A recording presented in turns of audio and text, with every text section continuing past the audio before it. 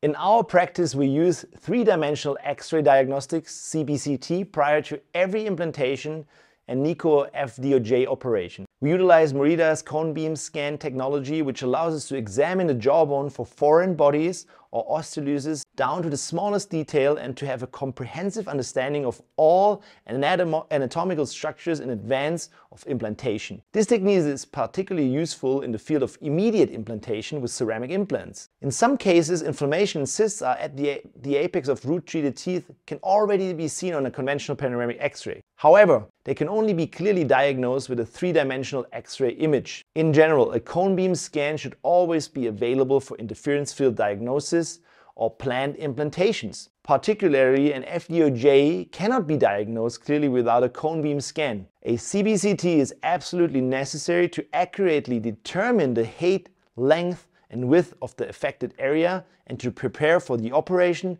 significantly reducing the risk of damaging surrounding sensitive tissues and nerves. Since root-treated teeth should be directly replaced by a ceramic implant if whenever possible, a cone beam scan should also be used in this situation to maximize patient safety. CaviTAU. Can inflammation in the jawbone be diagnosed without radiation? Yes, we are now using CaviTAU ultrasound before a planned FDOJ or NICO operation, cavitation operation, to ensure extra safety for the planned treatment, in addition to the cone beam scan. It's particularly useful for the diagnosis of potential cavitation recurrences or to check the bone around healed ceramic implants. This device should be an essential component of any biological dentist practice in my honest opinion. Cheers, Dr. Dome.